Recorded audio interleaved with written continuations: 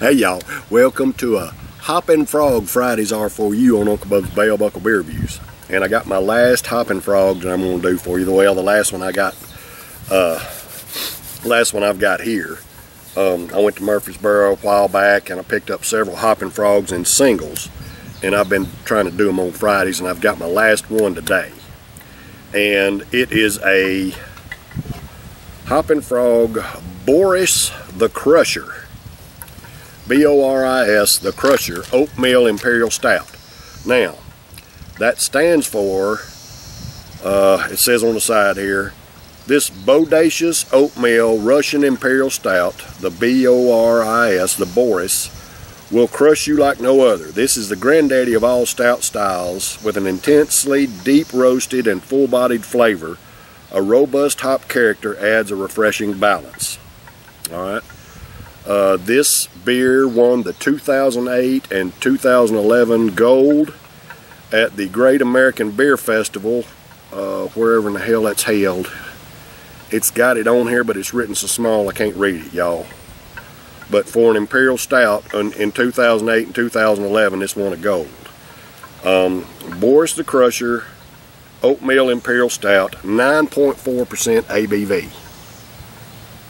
Alright, now this is a 12 ounce can where the other, most of the other ones I've done by Hoppin' Frog have been 8 and 8.45 fluid ounces, but their alcohol content's been through the roof. I think the highest one I got was like a 16.8 in a little bitty can. Whew. Anyway, this stuff is brewed in Akron, Ohio. Uh, government warning, all that kind of good garbage. It doesn't really tell you what kind of hops or none of that kind of stuff. Uh, so anyway, we're going to try this Boris the Crusher today on a Hoppin' Frog Fridays are for you on Uncle Bub's Bell Buckle Bear Reviews. Let's see what this stuff looks like. I'm, I'm, I'm assuming it's going to be burnt motor oil dark. And it pretty much is. I mean, it's not black. As I'm pouring it off, I can see uh, light through the stream there, but man, look at that dadgum head. Look how brown that head is. And look at, you got you, you got your stuff, your head developing right there. Beautiful brown head on that thing, man. Look at that. Wow. Now, I can't see any light through it at all now.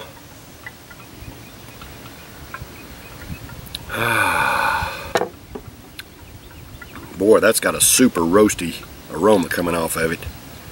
And that head has got real fine bubbles. It's kind of a mix. It's like really, really fine bubbles and a few coarse mixed in there with it. Um, but it pours off like a chocolate syrup almost. Real thick. Hoppin' Frog, Boris the Crusher, Oatmeal Imperial Stout, 9.4% ABV. Alright, I think y'all can see that okay there.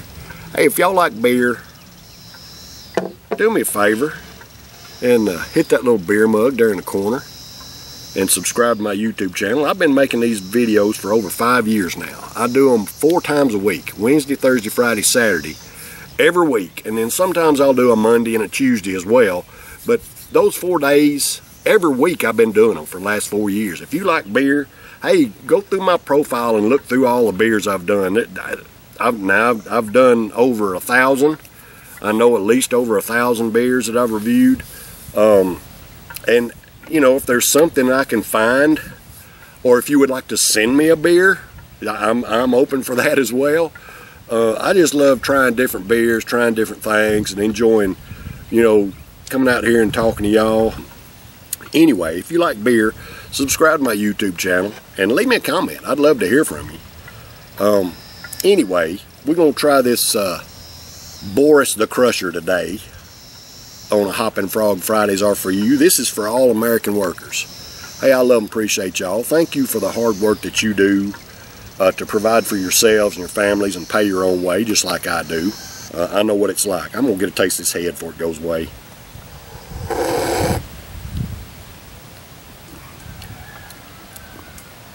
Oh wow, that's like sweet coffee. Sweet black coffee is what it tastes like.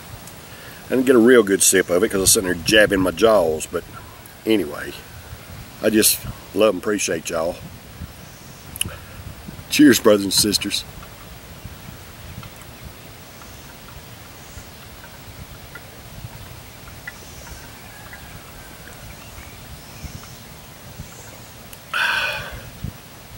Mm.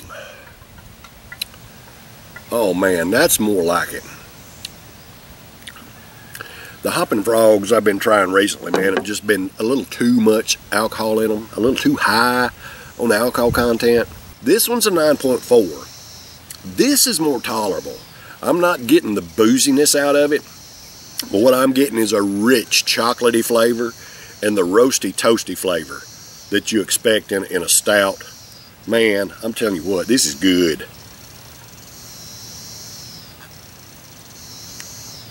Uh, now, the carbonation is very low. Um, of course, when I poured it off, it had a nice uh, reverse cascading dark brown head on it. And since then, the, the, of course, it's dissipated. And it's got a little bit of lacing on the glass. but the, the body itself, the carbonation is almost gone. It still has a little bit, but it doesn't detract from the flavor of it. It's still got a rich, deep, roasty coffee type flavor and a little bit of chocolate. Um, it's very good. Uh, I'm going to score this one a high A. Uh, the other ones that were a little more boozy, a little higher in alcohol content, they were just almost too much. Uh, where this one, this I can see why this one won gold in 2008 and 2011 because it's delicious. It's easy to drink. It's got a nice flavor, nice, robust, rich flavor. Um, this is, a, now, where some of the others, you wouldn't be able to chug them because they were just too boozy.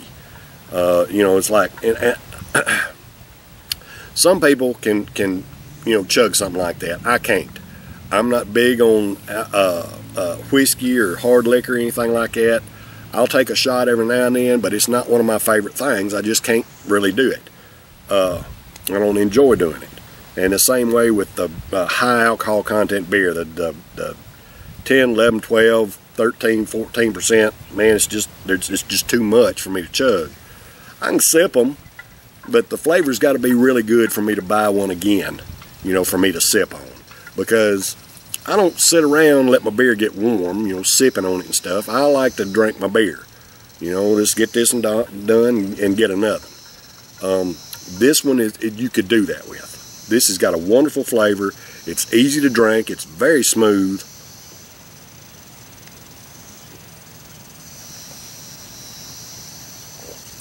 And it has a higher alcohol content of 9.4%, but you can't tell it.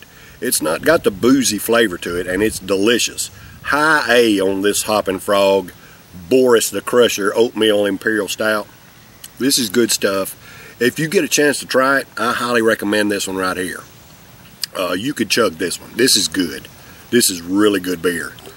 Um, I'm really impressed with this one. More, I think I like this one better any of the Hoppin' Frogs I've done so far. I think this is my favorite. Um, and and to tell you the truth, I was kind of, you know, dreading doing it because the other ones have been so boozy.